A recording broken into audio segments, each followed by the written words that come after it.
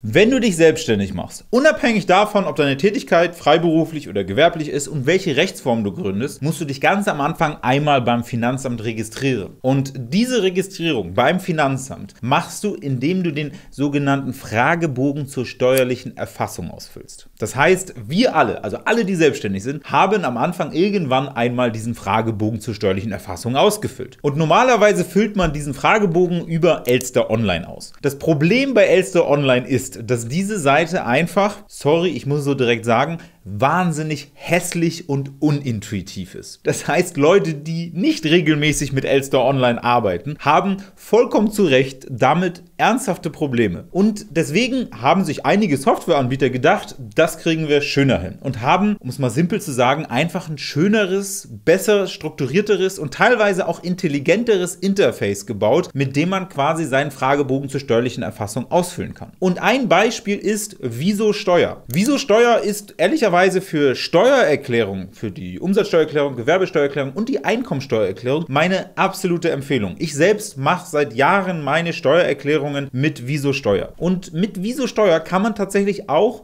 den Fragebogen zur steuerlichen Erfassung ausfüllen. Und das Ganze ist einfach deutlich entspannter als mit Elster Online. Und in diesem Video schauen wir uns den Fragebogen zur steuerlichen Erfassung in Viso Steuer einfach mal zusammen an. Und du kannst für dich überlegen, ob das Tool das Richtige für dich ist und kannst dann aber auch Schritt für Schritt Schritt einfach dem folgen, was ich dir da zeige und zu den jeweiligen Feldern erkläre. Und um das zu machen, nehme ich dich einfach einmal mit auf mein Bildschirm. Ich habe bei Viso Steuer einen kostenlosen Account angelegt und mich da jetzt gerade einmal eingeloggt. Übrigens, alle Informationen und einen Link zu Viso Steuer findest du auch ganz oben unten in der Videobeschreibung. Das heißt, da kannst du dir deinen kostenlosen Account eröffnen. Und du siehst hier auf der linken Seite auch, was du mit Viso Steuer alles machen kannst. Also deine Einkommensteuererklärung, Lohnsteuerermäßigung, Feststellungserklärung, Umsatzsteuererklärung, Steuererklärung, Gewerbesteuererklärung und das, was wir jetzt gerade machen wollen, ist der Fragebogen zur steuerlichen Erfassung. Das heißt, da gehen wir einmal drauf und dann können wir das Ganze auch zuklappen und dann sehen wir, hier können wir den Fragebogen zur steuerlichen Erfassung ausfüllen und das Ganze machen wir, indem wir hier einfach einen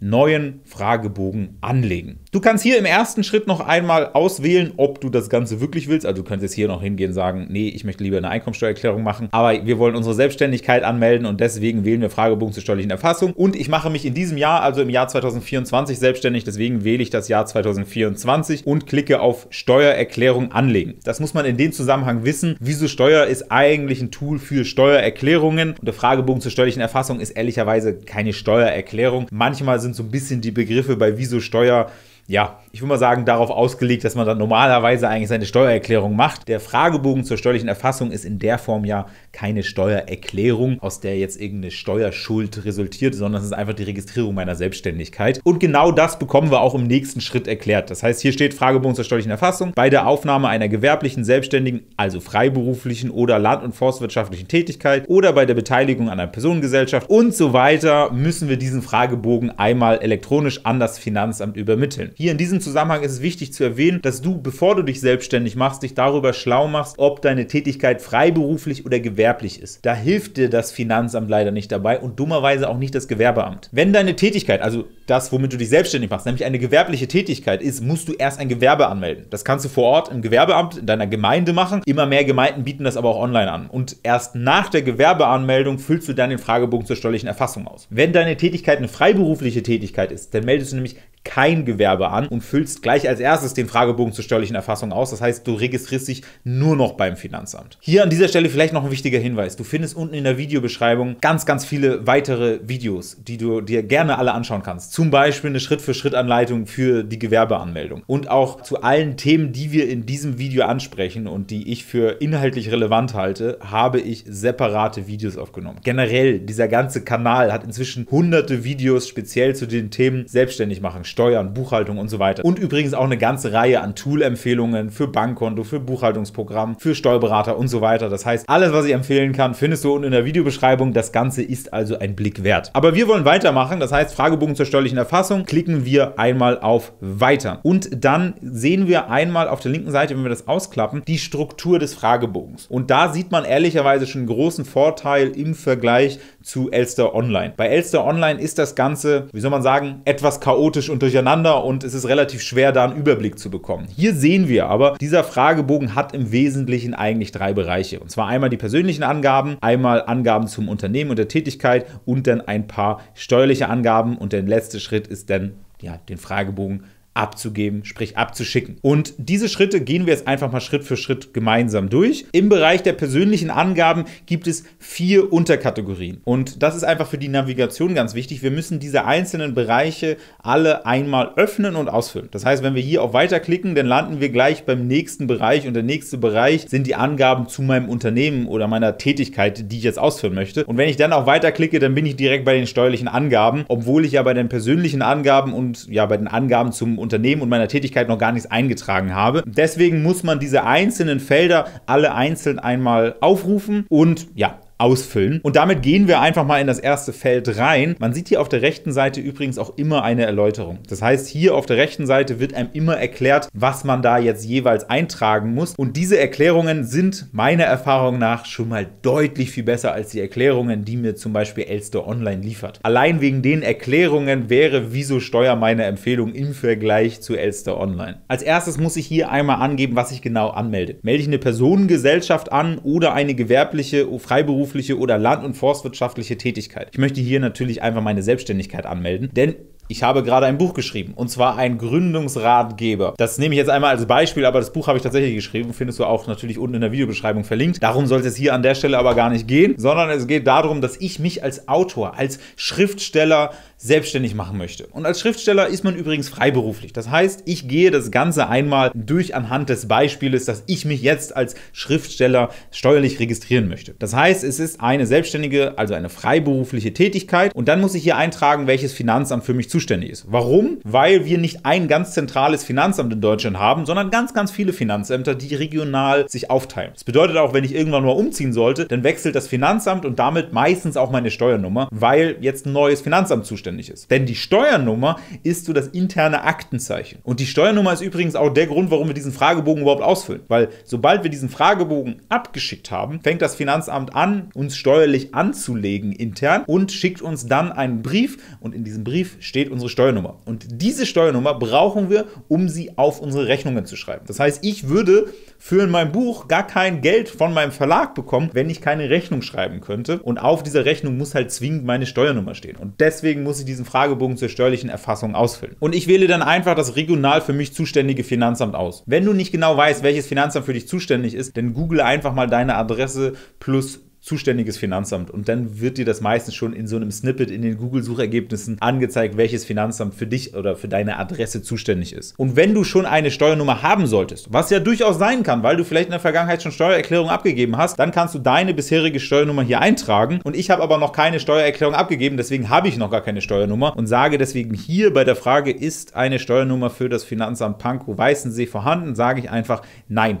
Habe ich noch nicht. Und damit kann ich diesen ganzen Abschnitt mit Klick auf Fertig abschließen. Und ich sehe jetzt, diesen Teil habe ich schon einmal erledigt. Das heißt, ich muss jetzt noch diese drei Bereiche durcharbeiten. Und ich sehe auch hier in der Übersicht, den Bereich habe ich schon erledigt. Und die ganzen anderen Bereiche muss ich noch einmal durcharbeiten. Und das machen wir doch direkt. Und zwar mit den Angaben zu der steuerpflichtigen Person. Also zu mir persönlich oder in deinem Fall zu dir persönlich. Ich klappe das nochmal wieder ein und im nächsten Schritt geht es um die persönlichen Daten. Also ganz konkret Name, Vorname, Geburtsname, Geburtsdatum, deine Steueridentifikationsnummer. Wichtiger Hinweis an dieser Stelle, in Deutschland haben wir eine ganze Reihe an Steuernummern. Eben gerade hast du ja schon deine normale Steuernummer eingetragen. Also die normale Steuernummer, unter der du auch deine Steuererklärung abgibst oder das ist auch das, was du bekommst, nachdem du den Fragebogen ausgefüllt hast, bekommst du ja eine normale Steuernummer. Das ist die Steuernummer, die zu deinem Finanzamt gehört und die du auch auf deine Rechnung schreibst. Wir alle haben aber auch eine persönliche Steueridentifikationsnummer. Diese persönliche Steueridentifikationsnummer hast du irgendwann mal zur Geburt bekommen. Oder wenn du nicht in Deutschland geboren wurdest, dann hast du dich ja irgendwann in Deutschland mal steuerlich registriert und dann hast du diese Steueridentifikationsnummer bekommen. Diese Steueridentifikationsnummer steht zum Beispiel auch auf den Steuerbescheiden. Das heißt, wenn du jemals schon mal einen Steuerbescheid bekommen hast, dann steht auch die persönliche Steueridentifikationsnummer Steueridentifikationsnummer auf diesem Steuerbescheid. Die Steueridentifikationsnummer steht aber auch zum Beispiel auf dem Ausdruck der elektronischen Lohnsteuerjahresbescheinigung, die du von deinem Arbeitgeber bekommst. Und in vielen Fällen tatsächlich auch auf deine Gehaltsabrechnung. Das heißt, wenn du gerade nicht genau weißt, wo du deine persönliche Steuer-ID finden kannst, dann schau da einmal vorbei. Als nächstes kommen wir zu einer Frage, wo es ganz viele Rückfragen gibt. Und zwar musst du hier den ausgeübten Beruf eintragen, also deinen ausgeübten Beruf. Und es kann ja gerade sein, dass du als irgendwas angestellt bist und jetzt machst du dich gerade selbstständig mit einem neuen Beruf. Das heißt, hier stellt sich die Frage,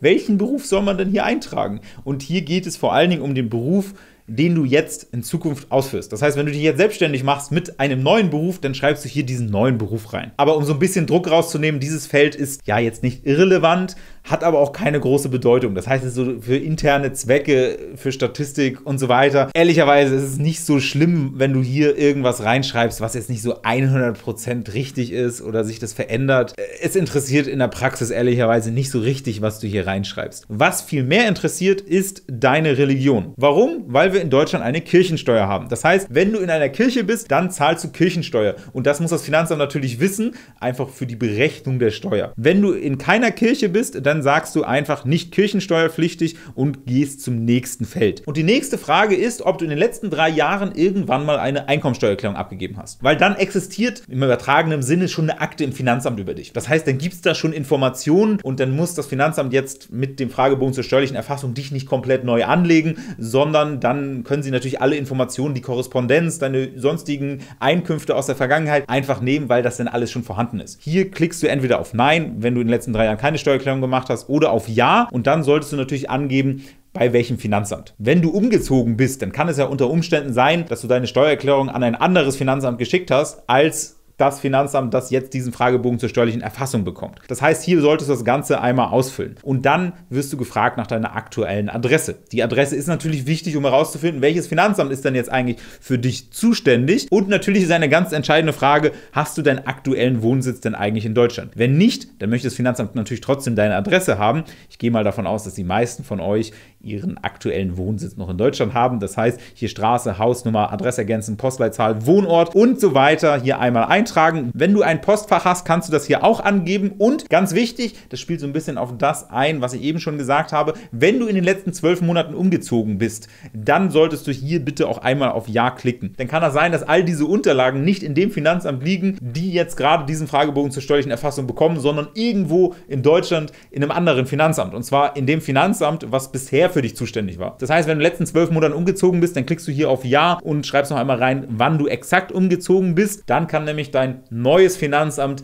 die Akte in deinem bisherigen Finanzamt anfordern und hat dann gleich alles an einer Stelle. Mit einem Klick auf Fertig ist auch dieser Bereich, also der Bereich steuerpflichtige Person, abgeschlossen und wir können zum nächsten Bereich gehen. Und zwar zu dem Bereich Ehepartner, Lebenspartner. Warum ist das wichtig? Wenn du verheiratet bist, kannst du mit deinem Ehepartner eine zusammen veranlagte Einkommensteuererklärung abgeben. Das heißt, dann ist auch das Einkommen und auch die, ja, die Ausgaben, die steuerlich relevanten Ausgaben für dich und deinen Steuersatz relevant. Und hier in diesem ganzen Fragebogen geht es ja einmal darum, dass das Finanzamt alle Informationen über deine Selbstständigkeit erhält, aber dich natürlich auch in gewisser Weise steuerlich einschätzt. Wie viel Umsatz, wie viel Gewinn ist da zu erwarten, welche steuerlichen Wahlrechte übst du aus und auch, ganz, ganz wichtig, wie hoch sollen denn die Vorauszahlungen sein von dir, die du quartalsweise zu zahlen hast. Und das ist natürlich extrem abhängig von deinem individuellen Steuersatz und dieser individuelle Steuersatz ist abhängig unter anderem auch vom Einkommen deines Ehepartners. Natürlich ist dieser Bereich wahnsinnig schnell ausgefüllt, wenn du einfach nicht verheiratet bist. Dann klickst du hier nämlich einmal drauf und sagst bei der Frage, ist die steuerliche Person ledig, einfach auf Ja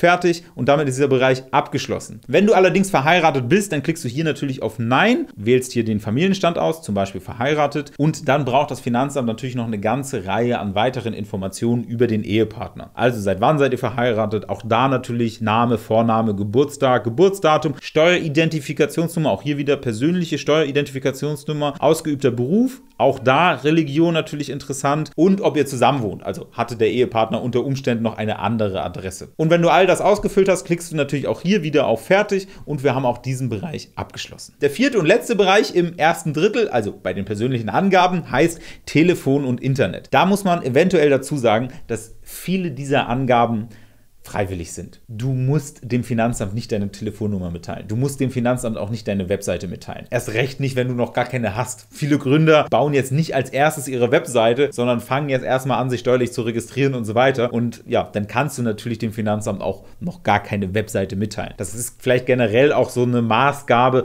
Du musst nicht alle Felder ausfüllen. Wenn du bei bestimmten Feldern etwas einfach noch nicht weißt, dann lässt du sie einfach leer. Bei Visosteuer ist es auch so praktisch, dass dir Visosteuer einfach Hinweise gibt, was du ausfüllen musst und was du auch eher leer lassen kannst und so weiter. Das heißt, hier helfen die Hinweise und die Tipps, die man auf der rechten Seite bekommt und die man teilweise auch so als Einblendung bekommt, die helfen wirklich weiter. Das ist das Problem bei Elster Online. Da versteht man die Fehlermeldung unter Umständen nicht. Manchmal bekommt man da zwar eine Fehlermeldung, weil irgendwas ein Pflichtfeld ist, aber man kann da gar nichts eintragen, weil es diese Informationen einfach nicht gibt. Das heißt, bei Elster Online kommst du immer wieder zu dem Punkt, dass das Ganze einfach nicht nachvollziehbar ist, was diese Software eigentlich von einem möchte. Und dann fängt man irgendwann an, irgendwas einzutragen, einfach nur in der Hoffnung, dass dieses Formular endlich mal abgeschickt wird. Und da muss ich ganz ehrlicherweise sagen, das macht Visosteuer ganz erheblich besser. Und genau das können wir hier auch sehen. Telefon, Landesvorwahl, Ausland, Ortsvorwahl, Rufnummer. Ich kann es noch weitere Telefonnummer angeben. Aber hier rechts steht auch, die Angabe der Telefonnummer ist freiwillig. Das heißt, das Ganze musst du nicht machen. Ich muss ganz ehrlicherweise sagen, ich habe meine Telefonnummer beim Finanzamt angegeben, weil ich mir wünschen würde, dass wenn kleinere Fragen auftauchen, dass das Finanzamt mich einfach anruft und dass ich das einfach direkt beantworten kann. Genau das gleiche gilt ehrlicherweise für eine E-Mail-Adresse. Aber mein Finanzamt und die Sachbearbeiter, die meine Fälle bearbeiten, die rufen mich nie an und die schreiben mir nie eine E-Mail. Ich kriege ständig Briefe. Aber wenn du die Hoffnung nicht aufgeben möchtest, dann kannst du all diese Informationen natürlich auch hier eintragen, genauso wie ich es irgendwann mal gemacht habe. Und zusammenfassend kann man ehrlicherweise sagen, alles auf dieser Seite ist freiwillig. Das heißt, du kannst diesen ganzen Bereich Bereich Telefon und Internet auch einfach überspringen und auf Fertig klicken und dann hast du auch diesen Bereich abgeschlossen. Und damit haben wir tatsächlich auch den gesamten Bereich persönliche Angaben abgeschlossen. Das heißt, die persönlichen Angaben sind abgeschlossen. Wir können hier unten rechts auf Weiter klicken und damit kommen wir zu dem ganzen Bereich des Unternehmens. Also dein Unternehmen, deine Tätigkeit, deine selbstständige Tätigkeit, die du jetzt anmelden möchtest. Und auch hier gibt es einige Unterbereiche und zwar genau fünf an der Zahl und zwar ein paar allgemeine Themen. Deine Bankverbindung, steuerliche Beratung, also falls du einen Steuerberater hast, die Empfangsvollmacht, sehr häufig auch der Steuerberater und die betrieblichen Verhältnisse. Und auch die Bereiche gehen wir natürlich einfach mal Schritt für Schritt gemeinsam durch. Und zwar klicken wir einmal auf Allgemeines. Und Allgemeines ist zuallererst erstmal die Beschreibung der Tätigkeit. Was machst du eigentlich ganz genau in deiner Selbstständigkeit, beziehungsweise planst du zu machen? Und hier solltest du dir, ich würde mal sagen, dein unternehmerisches Feld nicht zu sehr eingrenzen. Das heißt, versuche hier eher allgemein und weit zu beschreiben, was du tust. Ich gebe dir einfach mal ein Beispiel. Ich könnte hier jetzt Art der Tätigkeit reinschreiben. Videoproduktion für den YouTube-Kanal Steuerfit für Selbstständige. Das wäre wahr, aber es wäre auch sehr, sehr eng, weil was ist, wenn ich meinen Kanal umbenenne? Oder wenn ich plötzlich, keine Ahnung, Instagram-Kanal habe. Wir sind übrigens auch auf Instagram, schaut gerne vorbei. Und da auch was veröffentlichen möchte, dann stimmt das schon nicht mehr mit dem YouTube-Kanal Steuerfit für Selbstständige. Wenn ich hier aber sowas reinschreibe, Produktion von audiovisuellen Inhalten und deren Vermarktung, dann ist das Feld halt einfach sehr viel weiter und ich könnte auch Auftragsarbeit machen. Ich kann irgendwelche neuen Social-Media-Kanäle bespielen. Ich kann das auch in einem ganz anderen Kontext produzieren und veröffentlichen und so weiter. Ich glaube, anhand des Beispiels es wird deutlich, was ich sagen möchte. Du solltest dich hier nicht zu konkret auf deine ganz eine Idee, die du jetzt gerade hast, versteifen, sondern dir ein bisschen Luft geben, damit sich deine Selbstständigkeit auch weiterentwickeln kann. Nicht, dass du bei der nächsten Auftragsanfrage von deinem Kunden gleich schon denken musst, shit, ich habe dem Finanzamt was ganz anderes erzählt, was ich mache. Wichtiger Hinweis an dieser Stelle, du kannst dem Finanzamt auch jederzeit später noch sagen, dass du jetzt auch noch mehr machst und so weiter. Du kannst auch generell hier mehrere Dinge auflisten. Es ist nur für dich erstmal wichtig, dass du dich nicht zu sehr eingrenzt, weil meine Erfahrung aus ich glaube, sechs Gründungen ist, so eine Selbstständigkeit entwickelt sich dynamisch und nicht alles funktioniert so, wie man sich vorgestellt hat. Einiges funktioniert viel besser, anderes sehr viel schlechter und irgendwie, ja, wird dadurch auch, auch das Betätigungsfeld, in dem man aktiv ist, ja, verändert sich laufend. Und von daher bleib hier ruhig etwas allgemeiner. Und wenn es notwendig ist, kannst du das Ganze hier auch noch ein bisschen ja, weiter ausführen. Das heißt, hier schreibst du nur ganz knapp rein und hier kannst du eine längere Erläuterung schreiben, was genau du denn da jetzt machst. Als nächstes schreibst du hier den Beginn der Tätigkeit rein. Ganz, ganz wichtig, Beginn der Tätigkeit ist wirklich der Tag, an dem du anfängst, unternehmerisch tätig zu sein. Und nicht der Tag, an dem du die erste Rechnung schreibst, ist auch nicht der Tag, an dem du den ersten Umsatz auf dem Konto hast, sondern der Tag, an dem du ja den ersten Vertrag unterschreibst oder einen Dienstleister beauftragst, ein Gründungsseminar buchst, vielleicht ein Zugticket buchst, um auf eine Gründermesse zu fahren. Das heißt, das erste Mal, wo du wirklich anfängst, aktiv am Wirtschaftsgeschehen als selbstständige Person teilzunehmen. Das ist dein Beginn deiner Selbstständigkeit und dieses Datum schreibst du hier rein. Und dieses Datum solltest du auch nicht zu spät setzen, denn Betriebsausgaben vor diesem Termin sind teilweise nur eingeschränkt abziehbar. Dazu gibt es übrigens vertiefendes Video unten in der Videobeschreibung, schau da gerne vorbei. Aber ganz wichtig, hier solltest du den Termin nicht zu spät einfach wählen. Dann wirst du hier nach dem Namen der Bezeichnung gefragt. Und zwar dem Namen deines Unternehmens. Und da ist es wahnsinnig wichtig, dass du dir als Einzelunternehmen, wenn du nicht im Handelsregister eingetragen bist, was du in den meisten Fällen nicht brauchst und deswegen auch nicht machen solltest, weil es einfach unnötige Bürokratie für dich ist, dann kannst du dir keinen reinen Fantasienamen geben. Das heißt, ich könnte mich jetzt hier nicht Steuerfit nennen. Das ist ein reiner Fantasiename. Der Name meines Unternehmens ist immer inklusive meinem Namen. Das heißt, mein Unternehmen heißt im Wesentlichen so wie ich. Schauen uns mal hier auch den Hilfetext an. Hier sind ein paar Beispiele genannt. Zum Beispiel, Imbiss Balkangrill, Inhaber Horst Spieß. Das ist ein Beispiel, wie du dich nennen dürftest, weil hier Horst Spieß mit drin steht. Du kannst dich auch Otto Müller Gerüstbau nennen. Also wenn du Gerüstbau machst und Otto Müller heißt. Wichtiger Hinweis an der Stelle. Oder ich könnte mich beispielsweise nennen Melchior Neumann Videoproduktion oder Melchior Neumann Steuerfit. Das wäre möglich. Wichtig an der Stelle ist aber, dein Name ist Teil deines Firmennamens. Und wenn du jetzt ja, keinen fancy Namen hast, kein Brand hast, den du aufbauen möchtest, dann schreibst du hier einfach deinen Namen rein. In dem Fall könnte ich hier einfach Melchior Neumann reinschreiben. Und das ist auch vollkommen in Ordnung. Und das heißt nicht, dass du dir nicht Brand überlegen kannst. Du kannst auch Flyer produzieren, eine Webseite produzieren. Du kannst alles werbematerialmäßig machen. Du kannst sogar auf deinen Rechnungen groß drüber schreiben, Steuerfit. Also ich könnte das machen, nicht du, weil Steuerfit ist mein Name, aber ich könnte groß Steuerfit drüber schreiben. Wichtig ist nur, dass auch irgendwo Melchior Neumann steht, weil der rechtlich korrekte Name meines Unternehmens wäre immer Melchior Neumann. Und dann kann es ja unter Umständen sein, dass du ein separates Büro hast oder ja, eine Werkstatt hast, ein Ladengeschäft hast. Das heißt, dein Unternehmen ist nicht da, wo du privat wohnst. Wir haben ja schon deine private Adresse eingetragen, so in dem ersten Bereich.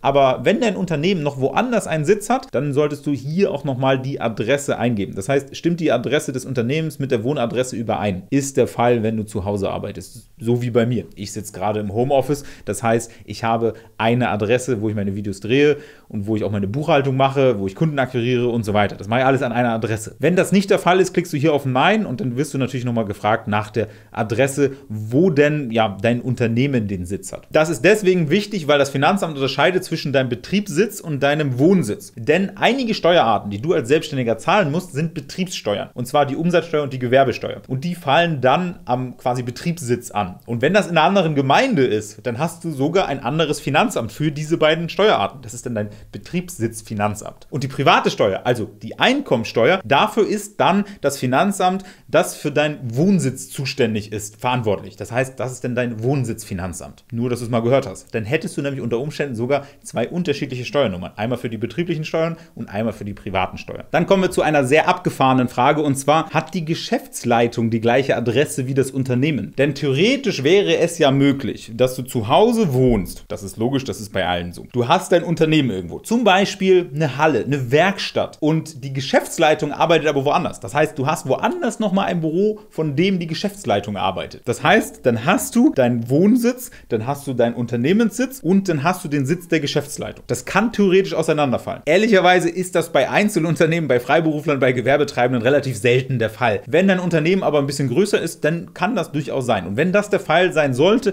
dann möchte das Finanzamt natürlich auch nochmal die Adresse von ja, dem Sitz der Geschäftsführung haben. Das sollte ehrlicherweise in deinem Fall nur äußerst selten sein. Und dann wird hier noch einmal nach Kontaktdaten gefragt. Hier geht es natürlich jetzt um die Kontaktdaten deines Unternehmens und nicht deine privaten. Auch hier wieder, diese Angaben sind freiwillig und ehrlicherweise in den meisten Fällen bei euch auch ja komplett identisch mit den privaten Angaben. Im nächsten Schritt wirst du nach dem Handelsregister gefragt. Das ganze Thema möchte ich hier an dieser Stelle nicht zu groß machen. Du als Einzelunternehmen bist in der Regel nicht im Handelsregister eingetragen und musst das auch nicht tun und deswegen sind die richtigen Antworten hier an dieser Stelle mit Nein. Wenn dich das ganze Thema Handelsregister noch mehr interessiert, dann findest du in der Videobeschreibung dazu weitere Informationen und damit würde ich das Ganze an der Stelle auch sein lassen. Was spannender ist, ist die Gründungsform. Denn es gibt ja unterschiedliche Möglichkeiten, wie man gründen kann. Wir alle denken ganz spontan an, ja, gründen halt einfach. Das heißt, man startet irgendeine Selbstständigkeit. Aber es gibt auch Unternehmen, die anders entstehen. Und hier klicken wir einfach mal auf das Dropdown-Menü,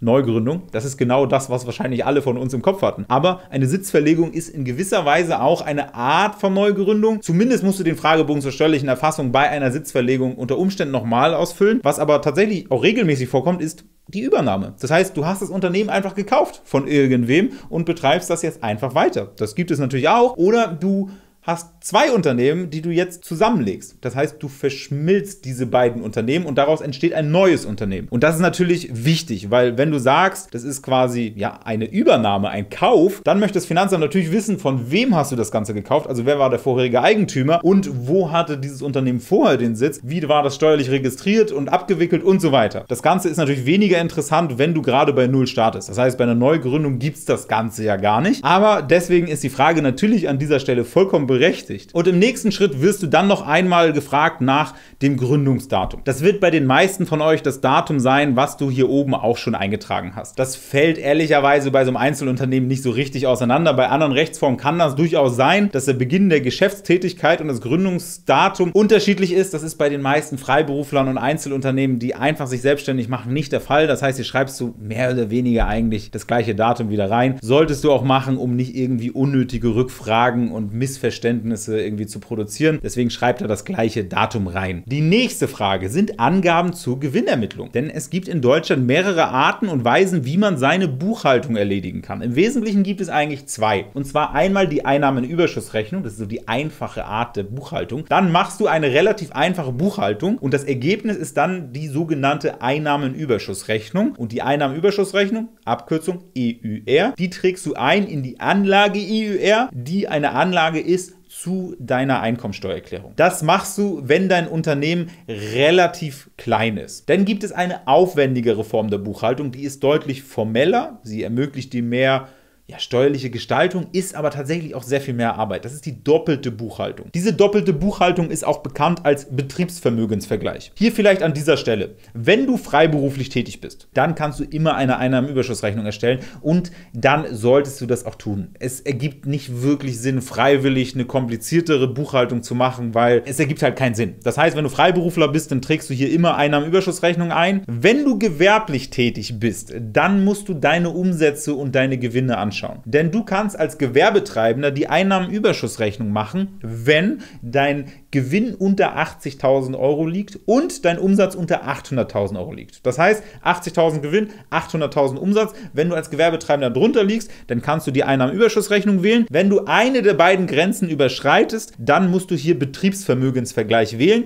weil du dann eine Bilanzierung erstellen musst. Zu dem Thema findest du übrigens auch unten in der Videobeschreibung noch vertiefende Videos. Wir gehen jetzt einmal davon aus, dass ich eine Einnahmenüberschussrechnung erstelle. Schließlich bin ich Schriftsteller und Schriftsteller sind Freiberufler. Die nächste Frage beantwortest du bitte, bitte mit Nein. Und zwar lautet die Frage, liegt ein vom Kalenderjahr abweichendes Wirtschaftsjahr vor? Es ist theoretisch möglich, seine Buchhaltung nicht vom 1. Januar bis zum 31. Dezember zu machen. Das ist ja normalerweise ja, das Kalenderjahr und du ermittelst halt, wie viel Gewinn du in einem Jahr gemacht hast und versteuerst dann den Gewinn in diesem Jahr. Für einige Geschäftsmodelle und einige Unternehmen ergibt es aber Sinn, das nicht so zu machen, sondern das Ganze irgendwie so zu verschieben. Als Beispiel Fußballvereine. Die Fußballsaison geht vom 1.7. bis zum 30.6. Deswegen machen relativ viele Fußballvereine, wenn nicht sogar alle, ihre Buchhaltung immer vom 1.7. bis zum 30.6. Halt immer für eine Saison. Deswegen haben sie immer ihren Jahresabschluss, also ihre Bilanz, mit dem Stichtag 30.6. Du bist kein Fußballverein und du möchtest diese Komplexität und diese unnötige Arbeit auch nicht haben. Deswegen bitte hier einfach Nein anklicken. Und wenn du Betriebsstätten haben solltest, was die meisten von uns nicht haben sollten. Dann klickst du hier einfach auf Ja und musst dann noch weitere Angaben machen zu deinen Betriebsstätten, also die einzeln erfassen, wo du jeweils Betriebsstätten hast. Die wenigsten Selbstständigen haben Betriebsstätten, deswegen klickst du hier einfach Nein und klickst auf Fertig und hast dann damit diesen Abschnitt abgeschlossen. Der nächste Bereich ist die Bankverbindung, also deine Bankverbindung. Und da klicken wir natürlich auch einmal darauf. Und hier wird unterschieden zwischen Erstattung von privaten Steuern und Erstattung von betrieblichen Steuern. Diese Unterscheidung hatten wir eben schon einmal. Betriebliche Steuern sind Gewerbesteuer und Umsatzsteuer und die private Steuer ist die Einkommensteuer. Und es kann natürlich sein, dass du sagst, okay, für die Einkommensteuer nimmst du halt ein privates Konto und für die geschäftlichen, also betrieblichen Steuern nimmst du dein Geschäftskonto. Und hier an dieser Stelle, du solltest bitte wirklich zum Wohle der Ordnung, zum Wohle deiner Buchhaltung, zum Wohle deiner finanziellen Stabilität und Übersichtlichkeit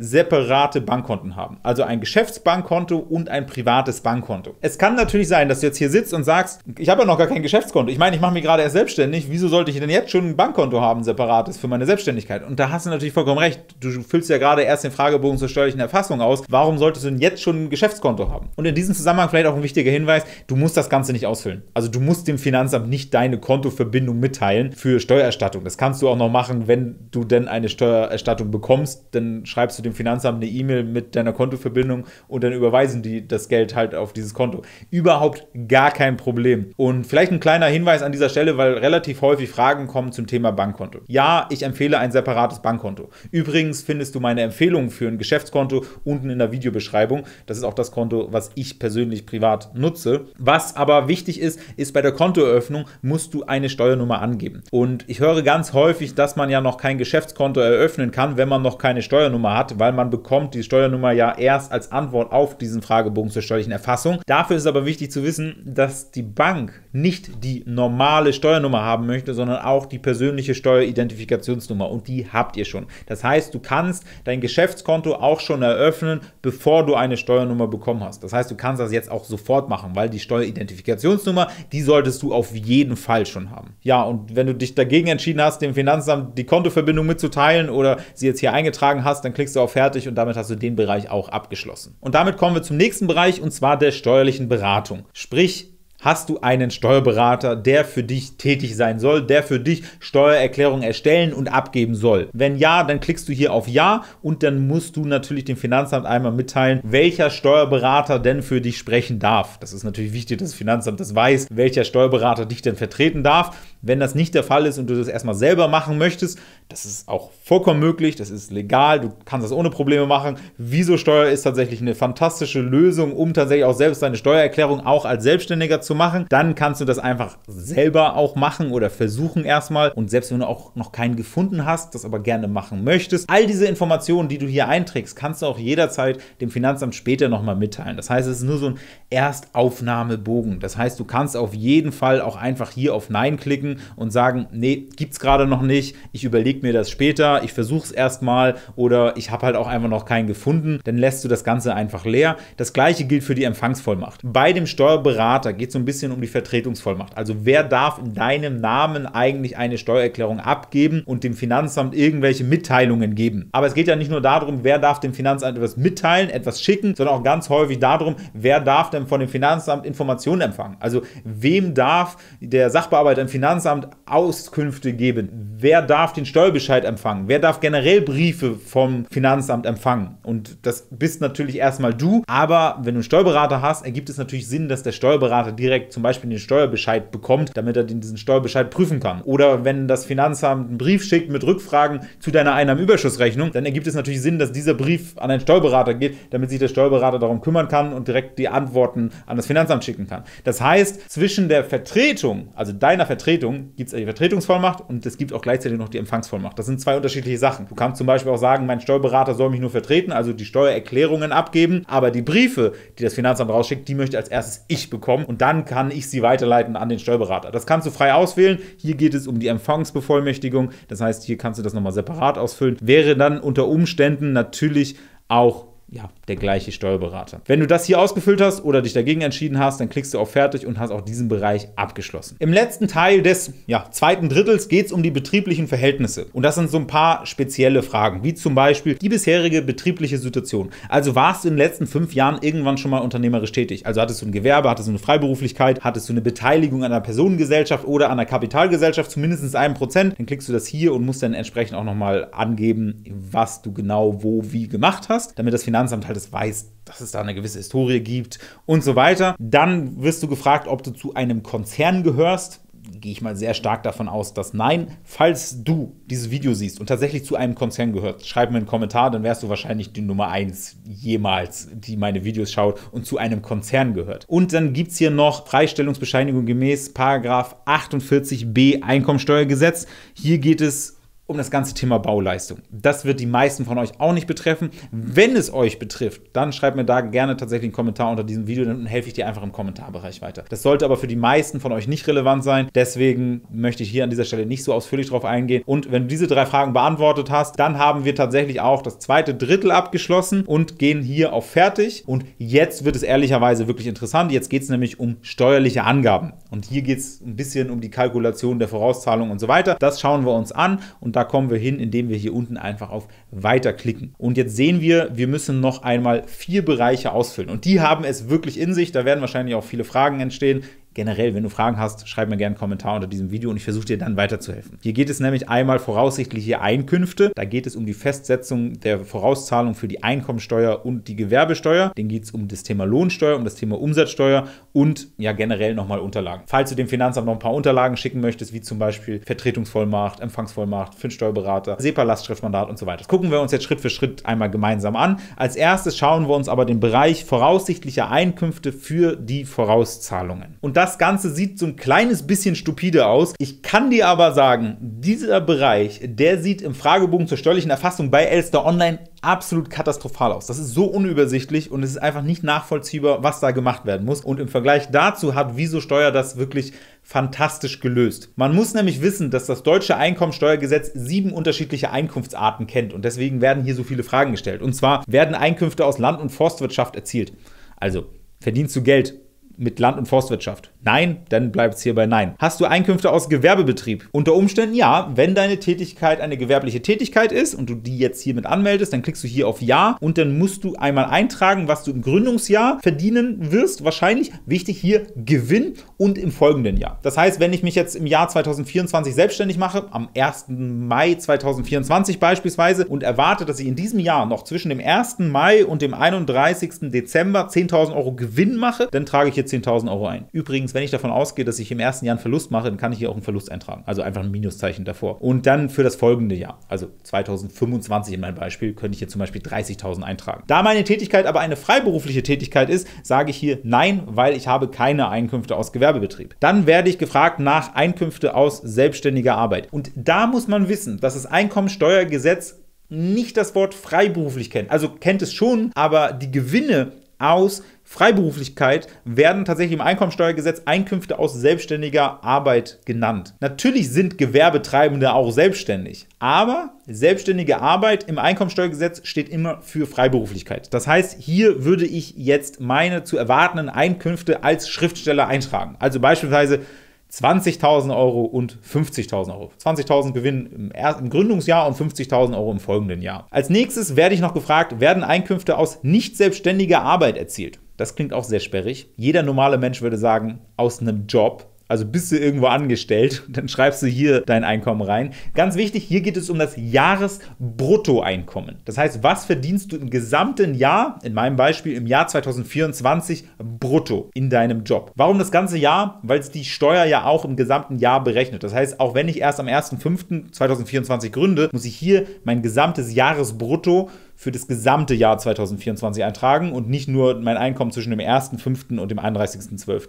Und dann mein zu erwartendes Einkommen für nächstes Jahr. Hier ein wichtiger Hinweis, hier gilt kein Minijobverhältnis, weil ein Minijobverhältnis ist brutto gleich netto. Das heißt, du als Minijobber zahlst keine Steuern auf dein Minijobverhältnis. Und deswegen verändert das den Steuersatz nicht und verändert auch nicht potenzielle Steuervorauszahlungen auf die Gewinne für deine Selbstständigkeit. Deswegen Minijobs kannst du hier einfach unter den Tisch fallen lassen. Interessiert hier für diese Berechnung gar nicht. Denn diese ganze Übung machst du hier an dieser Stelle nur, damit das Finanzamt quartalsweise Vorauszahlungen für die Einkommensteuer und die Gewerbesteuer schätzen kann. Nur dafür ist das da. Und deswegen vielleicht an der Stelle auch ein genereller Hinweis. Du kannst das hier grob schätzen. Natürlich weißt du nicht, was du im ersten Jahr an Gewinn machst. Natürlich weißt du auch nicht, was du im nächsten Jahr an Gewinn machst. Du kannst das so auf grobe, ja, auf 5000er ungefähr runden. Vielleicht kriegst du auch eine Gehaltserhöhung. Vielleicht gehst du nächstes Jahr mit deinen Stunden in deinem Anstellungsverhältnis runter. Das weißt du unter Umständen heute noch nicht. Deswegen runde hier ganz grob und ganz, ganz wichtig, setzt das nicht zu hoch an. Ich habe sechsmal gegründet in meinem Leben und kein einziges Mal habe ich es geschafft, in meinem eigenen Zeitplan zu bleiben. Das dauert immer alles länger, bis Aufträge reinkommen, bis man dann eine Rechnung schreiben kann, bis man dann das Geld tatsächlich auch auf dem Konto hat. Das dauert einfach immer alles sehr viel länger. Und das Schlimmste, was passieren kann, ist, dass du hier ganz überambitioniert jetzt 100.000 Euro reinschreibst, dann sind es aber nur 50.000 Euro. Das Finanzamt denkt aber, es sind 100.000 Euro und setzt dir Vorauszahlung basierend auf 100.000 Euro Einkommen rein. Und das wäre halt super ungünstig. Deswegen lieber ein bisschen tief stapeln hier, weniger eintragen. Das ist auch keine Steuerhinterziehung, weil das Ganze nur Vorauszahlungen sind. Wenn du hier also zu wenig angibst und dann tatsächlich mehr verdienst, dann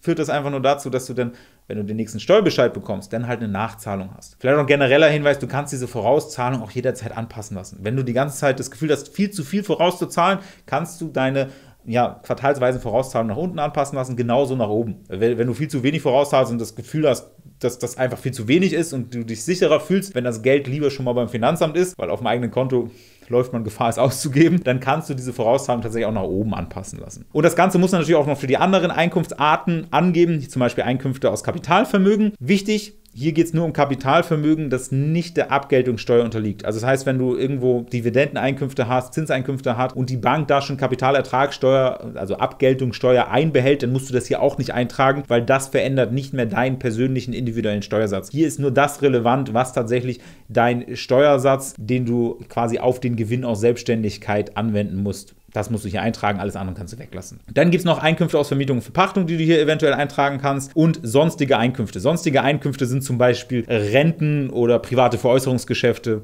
zum Beispiel Bitcoin-Spekulationsgewinne, die trägst du denn hier ein, aber nur, wenn sie steuerpflichtig sind natürlich. Und dann gibt es ja nicht nur Einkünfte, sondern auch bestimmte Dinge, die du quasi von der Steuer absetzen kannst. Dinge, die den Steuersatz senken. Zum Beispiel Sonderausgaben. Sonderausgaben sind Versicherung. Rein praktisch sind die beiden größten Positionen deine Krankenversicherung und deine Rentenversicherung. Das heißt, diese Krankenversicherung und Rentenversicherung kannst du für das Gründungsjahr und das folgende Jahr auch eintragen. Das reduziert dann halt wieder ein bisschen deinen Steuersatz und sorgt dafür, dass du ein bisschen weniger vorauszahlen musst. Und dann gibt es auch noch andere Steuerabzugsbeträge. Eine ganze Reihe. Arztrechnungen, zum Beispiel Kinderfreibeträge, dann gibt es Entlastungsbeiträge für Alleinerziehende und so weiter. Das heißt, es gibt eine ganze Reihe an Steuerabzugsbeträgen Abzugsbeträgen, die du da irgendwie berücksichtigen kannst in deiner Steuererklärung. Du kannst jetzt irgendwo versuchen, Glaskugel zu lesen und hier irgendwas einzutragen. Mein pragmatischer Hinweis wäre, schnapp dir mal den letzten Einkommensteuerbescheid, guck da mal drauf, da ist so eine Tabelle, meistens auf Seite 2 oder 3, wo Steuerabzugsbeträge drinstehen. Und wenn du in deinen Steuerbescheiden der letzten Jahre da etwas drinstehen hast, dann kannst du diese Werte hier einfach reinschreiben weil das reduziert ja dann deine Steuerlast. Wenn du das nicht hast, ja, schreib's nicht rein, weil das ist schwierig vorherzusehen. Woher willst du wissen, wie viel, keine Ahnung, Zahnarztkosten du im nächsten Jahr hast und wie viel du von diesen Kosten denn tatsächlich auch ansetzen kannst? Das ist schwierig vorherzusehen. Von daher würde ich dir generell sagen, füll eher nichts ein, außer du weißt halt aufgrund der Historie, dass du bestimmte ja, Freibeträge, Freigrenzen und so weiter äh, auch in den nächsten Jahren haben wirst, dann kannst du sie hier natürlich eintragen. Und wenn du das alles gemacht hast, klickst du auf Fertig und damit sind wir mit dem Bereich auch durch. Und damit kommen wir zum nächsten Bereich und der nächsten Steuerart, und zwar der Lohnsteuer. Und da gibt es auch viele Irrtümer. Und zwar zahlst du als Selbstständiger keine Lohnsteuer. Ich kriege das immer wieder mit, dass da Leute was eintragen. Aber du als Selbstständiger Selbstständiger zahlst keine Lohnsteuer. Du hast keinen Lohn aus selbstständiger Tätigkeit. Du hast einen Gewinn. Das heißt, du machst eine Einnahmenüberschussrechnung oder du machst eine Gewinn- und Verlustrechnung, ermittelst einen Gewinn und zahlst darauf den Steuern. Das ist kein Lohn, das ist kein Gehalt. Du zahlst als Selbstständiger nur Lohnsteuer, wenn du Angestellte hast. Du zahlst nämlich Lohnsteuer für deine Angestellten. Du selbst zahlst für dich keine Lohnsteuer, du zahlst wie eben schon erzählt, die quartalsweisen Vorauszahlungen für die Einkommensteuer und unter Umständen Gewerbesteuer. Das sind die Steuerarten, die du zahlst. Du zahlst für dich selbst zumindest keine Lohnsteuer, sondern immer nur für deine Angestellten. Deswegen klickst du hier einfach auf Nein, wenn du keine sozialversicherungs- und steuerpflichtigen Angestellten hast. Wenn du das planst, dann klickst du hier auf Ja und dann musst du auch mehrere Angaben machen zu, wie viele Angestellte planst du eigentlich, wann sollen die anfangen, was denkst du, wie viel Gehälter, also als Gehaltssumme du hast, wie viel voraussichtliche Lohnsteuer du da zahlen musst und so weiter. Das Ganze Ganze machst du aber wirklich nur, wenn du wirklich ganz konkret schon planst, mit Mitarbeitern zu arbeiten. Und dann solltest du dich auch generell noch ein bisschen mehr darüber informieren, weil es reicht nicht hier, das einfach nur anzugeben, denn du musst auch noch mehr machen, als einfach nur Lohnsteueranmeldungen abzugeben. Ja, du brauchst einfach eine ganze Reihe an weiteren Anmeldungen und musst dich um Sozialversicherung und so weiter kümmern. Du findest unten in der Videobeschreibung eine Anleitung dazu, wie du Arbeitgeber wirst. Das heißt, da hast du noch ein paar mehr To-Dos, als jetzt einfach nur diesen Bereich hier einmal auszufüllen. Solltest du aber natürlich nur machen, sprengt hier an dieser Stelle nur ein bisschen den Rahmen, deswegen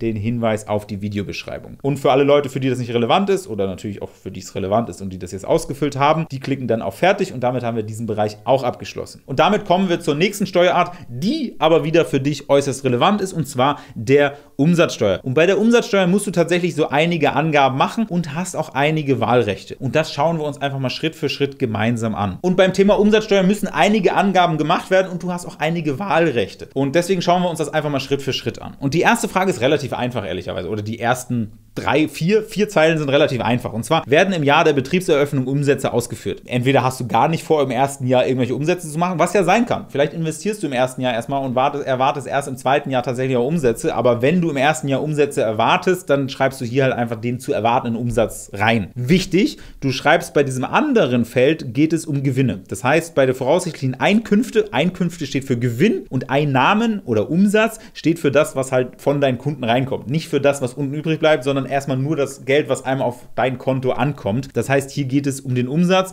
und das Ganze dann auch für das Folgejahr. Also was planst du an Umsatz im Gründungsjahr und im folgenden Jahr? Das beides schreibst du hier einfach rein.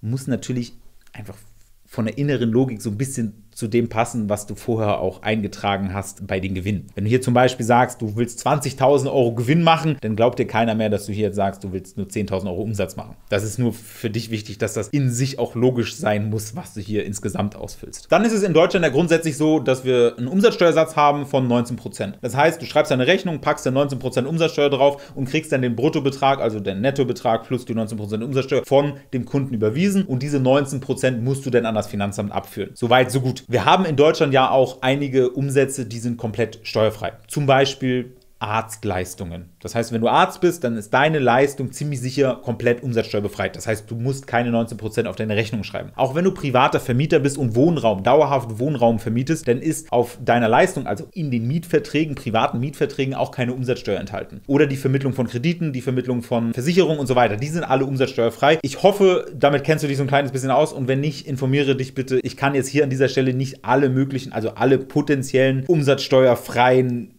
Umsätze aufzählen. Dann dauert das Video noch 10 Stunden. Die stehen alle in Paragraph 4 Umsatzsteuergesetz. Das heißt, wenn du dir da nicht ganz sicher bist, dann google einfach mal Paragraph 4 Umsatzsteuergesetz und scroll einmal durch das Gesetz. Da steht alles aufgelistet. Und wenn deine Leistung in Paragraph 4 Umsatzsteuergesetz nicht steht, ja, dann ist sie auch nicht umsatzsteuerbefreit. Wir haben aber in Deutschland auch einen ermäßigten Steuersatz von 7%. Der gilt auch auf bestimmte Leistungen. Das heißt, da solltest du dich auf jeden Fall einmal schlau machen. Was gilt eigentlich genau? In den meisten Fällen werdet ihr aber weder eine Erleichterung haben auf 7% und keine Befreiung Befreiung auf 0%. Das heißt, ihr klickt hier auf Nein. Wenn ihr aber zum Beispiel ja, Versicherungen vermittelt, dann schreibt ihr hier rein, welche Tätigkeiten ihr macht und wo das genau in Paragraph 4 Umsatzsteuergesetz steht, damit das Finanzamt da Bescheid weiß, dass ihr halt ja, Umsätze habt, für die ihr keine Umsatzsteuer zahlen müsst. Dann gibt es hier noch Angaben für Land- und Forstwirtschaft. Das möchte ich an der Stelle ehrlicherweise so ein bisschen überspringen, weil die meisten von euch werden nicht Land- oder Forstwirtschaft machen. Und dann gibt es die Kleinunternehmerregelung. Über die Kleinunternehmerregelung könnte ich jetzt auch eine Stunde lang sprechen. Ganz kurz zusammengefasst. Ich habe schon erzählt, du hast deinen Nettopreis, packst die Umsatzsteuer drauf und bekommst dann quasi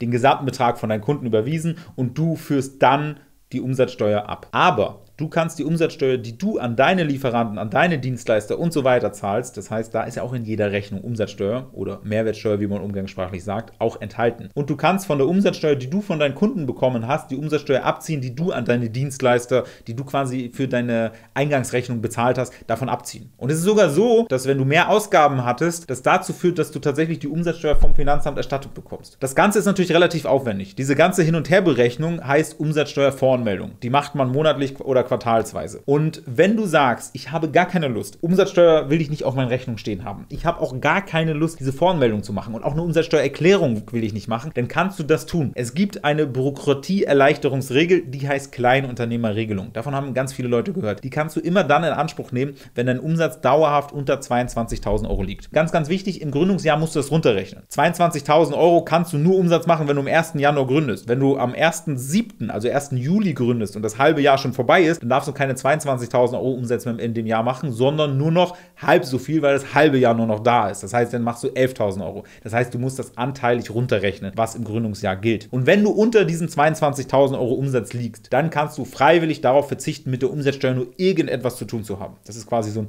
Opt-out aus dem Umsatzsteuersystem. Ganz, ganz wichtiger Hinweis an dieser Stelle, das ist meistens finanziell nicht attraktiv, weil du halt auf der Kostenseite dir die Umsatzsteuer auch nicht wiederholen kannst. Und gerade für Gründer ist es ja häufig so, dass sie erstmal investieren. Du hast das erste Mal eine Software, die du anschaffst. Du kaufst den Laptop, du kaufst dir sonstiges Equipment, du hast Reisekosten, du hast Fortbildungskosten und da sind überall Kosten drin und du würdest dir diese Umsatzsteuer wieder wiederholen. Ja, es ist ein bisschen mehr Arbeit, diese ganze umsatzsteuerrechtliche Abwicklung mit den Voranmeldungen und so weiter, aber unterm Strich ist es in ganz vielen Geschäftsmodellen so, dass es tatsächlich günstiger ist, auf diese Kleinunternehmerregelung zu verzichten. Es ist aber eine Bürokratieerleichterung. Von daher möchte ich dir jetzt natürlich auch nicht vorschreiben oder verbieten. Ich möchte nur, dass du an der Stelle weißt, dass die Kleinunternehmerregelung finanziell in ganz vielen Fällen gar nicht besser ist. Du findest zu dem ganzen Thema natürlich noch eine ganze Reihe an Videos unten in der Videobeschreibung. Check das gerne aus und ein wichtiger Hinweis auch, das Ganze ist freiwillig. Das heißt, du kannst sie wählen, aber du kannst auch, wenn du unter der Grenze bist, aktiv sagen, nee, habe ich keinen Bock drauf, ich will diese ganze umsatzsteuerrechtliche Abwicklung schon auch machen. Und hier an dieser Stelle berechnet Wieso Steuer, ob du überhaupt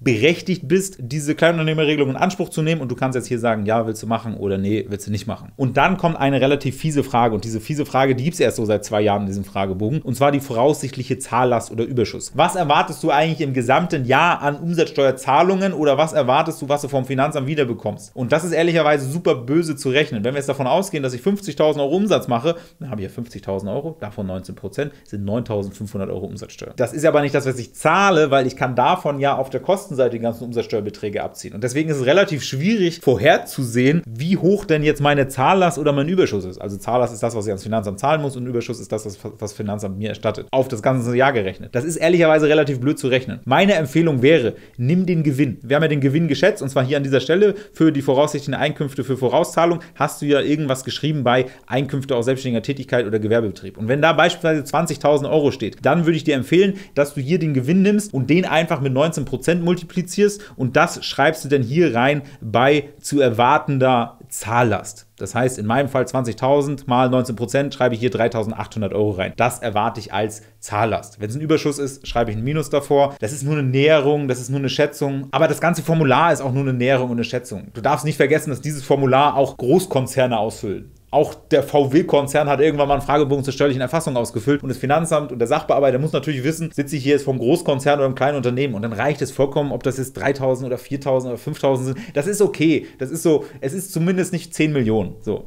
ich hoffe, damit wird klar, was ich sage. Hier geht es um eine grobe Einordnung dessen, wie wohl deine Selbstständigkeit ist und wie groß das eigentlich ist. Wenn die Zahlen in der Realität anders aussehen, ist auch nicht so schlimm. Dafür machst du ja die ganzen Steuererklärungen dann in Zukunft. Als nächstes wirst du analog und aufbauend zu den steuerfreien Umsätzen, die wir hier oben eingetragen haben, nochmal gefragt nach Umsätzen, die dem ermäßigten Steuersatz unterliegen. Auch darüber solltest du dich natürlich informieren, ob deine Leistungen unter Umständen nicht 19% Umsatzsteuer unterliegen, sondern 7%. Ist natürlich wahnsinnig wichtig. Hier an der nächsten Stelle wird dir eine Frage gestellt, die man ehrlicherweise relativ schnell mal so überscrollt. Die ist aber wichtig. Und zwar geht es hier um die Sollversteuerung oder Ist-Versteuerung. Ganz kurz, was ist der Unterschied? Es gibt ja unterschiedliche Zeitpunkte, wann du die Umsatzsteuer für deine Rechnungen ans Finanzamt übermittelst. Und zwar zwei Möglichkeiten. Erste Möglichkeit, der Zeitpunkt, wenn du die Rechnung schreibst. Die zweite Möglichkeit, dann, wenn du das Geld auch tatsächlich bekommst. Wenn deine Kunden dich schnell bezahlen, dann macht das keinen Unterschied, dann ist das ja meistens im gleichen Monat oder im Monat danach. Das heißt, dann ergibt das jetzt keinen großen Unterschied. Es gibt ja aber Konstellationen, gerade wenn du mit großen Unternehmen zu tun hast oder auch der öffentlichen Hand zu tun hast, dann gibt es tatsächlich andere Zahlungsziele. Und ich hatte mal einen Kunden, der hat mich erst nach neun Monaten bezahlt. Und wenn ich mir jetzt vorstelle, ich schreibe eine 5000 Euro Rechnung, und so groß war die Rechnung ungefähr, und die schreibe ich im Januar 2024, dann ist es schon ein großer Unterschied, ob ich im Januar 2024 die Umsatzsteuer für diese 5000 Euro schon im Januar zahlen muss oder erst im September, wenn ich das Geld auch tatsächlich auf dem Konto habe. Weil wenn ich das im Januar schon zahlen muss, dann muss ich ja diese 19% von 5000 Euro sind 900 250 Euro neun Monate lang vorstrecken, bevor ich das dann von meinem Kunden bekomme. Und das ist genau der Unterschied zwischen Soll- und Ist-Versteuerung. Nach der Soll-Versteuerung muss man die Umsatzsteuer immer schon dann bezahlen,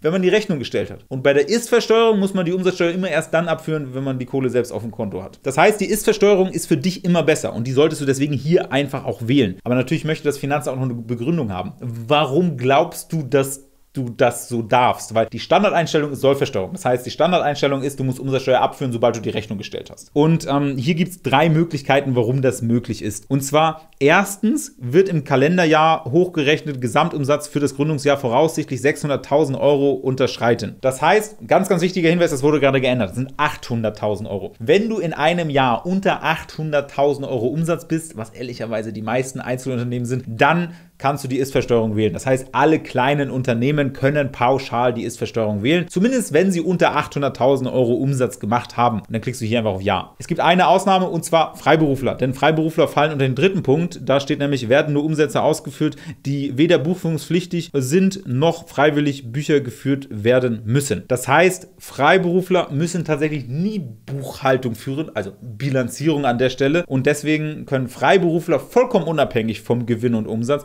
immer die Ist-Versteuerung wählen. Das heißt, Freiberufler können auch 5 Millionen Euro Umsatz machen, überhaupt gar kein Problem können trotzdem die Ist-Versteuerung wählen. Wenn du aber über 800.000 Euro Umsatz machst und gewerblich tätig bist, dann, ja, dann musst du die Sollversteuerung wählen. Im nächsten Punkt geht es um die Umsatzsteueridentifikationsnummer und das möchte ich hier ganz kurz machen. Du findest dazu vertiefende Videos auch unten in der Videobeschreibung. Du brauchst diese Umsatzsteueridentifikationsnummer. Das ist was anderes als deine normale Steuernummer, die du jetzt ja sowieso schon beantragst mit diesem Fragebogen. Diese Umsatzsteueridentifikationsnummer, die brauchst du immer dann, wenn du grenzüberschreitende ja, Geschäftsbeziehung hast mit Unternehmen, die im anderen EU-Land sitzen. Dann brauchst du diese Umsatzsteuer-Identifikationsnummer, die fängt mit DE an und hat dann da hinten so ja, ein paar Zahlen, haben aber immer so ein Länderkürzel am Anfang. Und die wird nicht vom Finanzamt erteilt, sondern vom Bundeszentralamt für Steuern. Und vielleicht sagst du jetzt, ah, ich habe gar keine internationalen Geschäftsbeziehungen und ich sage dir, hast du wohl, weil alle großen Tech-Unternehmen, Microsoft, Google, Facebook und so weiter, die haben alle ihren Sitz nicht in Deutschland, sondern ihren Europasitz entweder in Luxemburg oder in Irland und so weiter und du hast in der Regel Geschäftsbeziehungen mit solchen Softwareunternehmen. Von daher solltest du eine Umsatzsteueridentifikationsnummer haben und deswegen solltest du sie hier beantragen. Der reine Besitz dieser Umsatzsteueridentifikationsnummer, der verpflichtet dich zu nichts. Von daher klick hier einfach auf Ja. Das ganze Thema One-Stop-Shop-Verfahren ist für dich super relevant, wenn du Versandhandel machst, wenn du Dropshipping machst, wenn du generell E-Commerce machst, Produkte verkaufst und verschickst. Da solltest du dich bitte nochmal ausführlich mit beschäftigen. Auch dazu findest du unten in der Videobeschreibung Videos verlinkt. Das würde hier aber komplett den Rahmen sprengen. Das ist ein Verfahren, was auch EU-weit angewendet wirst und da solltest du dich dann auch registrieren, wenn das Ganze für dich relevant ist. Und dann hast du hier abschließend noch so ein paar weitere Angaben. Zum Beispiel wurde ein Unternehmen oder eine Gliederung eines Unternehmens gesondert geführter Betrieb erworben, also irgendwas mit Unternehmenskauf. Hier geht es noch einmal um Organschaften, auch das sollte für dich nicht relevant sein. Gebäudereinigung im Baubereich und so weiter, also Reverse Charge Verfahren, kompliziertes Thema sowieso schon. Dann im ganz speziellen für Bauunternehmen Unternehmen und Gebäudereinigungsunternehmen. Dann auch nochmal hier das ganze Thema E-Commerce. Wie gesagt, solltest du dich nochmal näher mit beschäftigen. Das heißt, bei diesen einzelnen Punkten möchte ich jetzt nicht in jedem einzelnen Fall darauf eingehen. Es gibt einen Grund, warum hier die unten auftauchen unter weitere Angaben. Das sind wirklich spezielle Fälle, über die du dich natürlich schlau machen solltest, wenn irgendwas davon auf dich zutrifft. Auf die meisten von euch sollte das aber nicht zutreffen. Damit sind wir auch fertig und klicken auf fertig. Und damit sind wir generell auch fast am Ende, denn wir haben im letzten Schritt nur noch die Unterlagen für das Finanzamt. Du kannst jetzt eine ganze Reihe an Unterlagen noch zusätzlich an das Finanzamt schicken. Zum Beispiel dem Finanzamt noch ein SEPA-Lastschriftmandat erteilen, damit sie quasi Umsatzsteuervorauszahlung, quartalsweise Vorauszahlung für Einkommensteuer, Gewerbesteuer und so weiter einfach abbuchen können. Die Vollmacht für einen Steuerberater und so weiter. Das heißt, all diese Dinge kannst du jetzt noch hinzufügen. Die kannst du aber tatsächlich auch später immer noch an das Finanzamt schicken. Das musst du nicht am Anfang fertig haben und sollte bitte, bitte kein Blocker für dich sein, diesen Fragebogen abzuschicken. Denn dein Ziel muss es sein, diesen Fragebogen so schnell wie möglich an das Finanzamt zu schicken, weil erst dann fängt das Finanzamt an, tatsächlich zu arbeiten und ja, schickt dir dann quasi als Antwort dann deine Steuernummer. Und diese Steuernummer brauchst du, damit du sie auf deine Rechnung schreiben kannst. Deswegen so schnell wie möglich diesen Fragebogen jetzt an das Finanzamt schicken und auch das machen wir einmal. Denn wir sind am Ende des dritten Drittels angekommen. Das heißt, wir haben jetzt diesen gesamten Fragebogen steuerlichen Erfassung ausgefüllt. Wir können auf Weiter klicken und dann mit unserer Zertifikatsdatei von Elster das Ganze hier direkt in Viso Steuer an das Finanzamt übermitteln. Ganz, ganz wichtig, du brauchst dafür natürlich eine Elster-Zertifikatsdatei. Du brauchst keine neue Elster-Zertifikatsdatei. Das heißt, wenn du eine Zertifikatsdatei hast für, ja, früher mal für dein Angestelltenverhältnis, um deine Einkommensteuererklärung zu machen oder tatsächlich auch Viso Steuer schon eine ganze Weile benutzt und dafür eine Zertifikatsdatei hast, dann kannst du die jetzt auch für deine Selbstständigkeit benutzen. Wenn du keine hast, dann solltest du dir natürlich eine organisieren. Das dauert aber tatsächlich eine Weile, weil das Finanzamt dir einen Brief schickt, um das Ganze zu aktivieren. Wie das funktioniert, findest du auch unten in der Videobeschreibung. Und wenn du das eingerichtet hast, kannst du aber direkt hier über Wieso Steuer den Fragebogen zur steuerlichen Erfassung an das Finanzamt schicken. Dann fängt das Finanzamt an, deine Anmeldung, deine steuerliche Registrierung zu bearbeiten und du solltest so in zwei, drei, vier Wochen eigentlich eine Rückmeldung erhalten. Ich habe aber ehrlicherweise in einzelnen Fällen auch schon gehört, dass das zwei bis drei Monate dauert. Das heißt, da heißt es leider ein bisschen Geduld haben. Wenn du es sehr, sehr eilig hast und du Rechnung schreiben musst, dann kannst du auch zumindest in Absprache mit deinen Kunden Rechnungen verschicken, wo du einfach draufschreibst, Steuernummer folgt. Es ist nämlich ganz wichtig, dass auf deinen Rechnungen deine Steuernummer steht. Diese Rechnung musst du dann natürlich korrigieren, sobald du deine Steuernummer erhalten hast, aber du musst ja von irgendwas leben. Also irgendwie musst du wahrscheinlich deine Miete bezahlen, deinen Kühlschrank füllen und so weiter. Das heißt, es ist schon sinnvoll, Rechnungen zu schreiben, auch wenn du unter Umständen deine Steuernummer noch nicht erhalten hast. Es ist nur wichtig, dass du das Ganze mit deinen Kunden absprichst, dass die damit einverstanden sind und ganz, ganz wichtig, du musst natürlich anschließend auch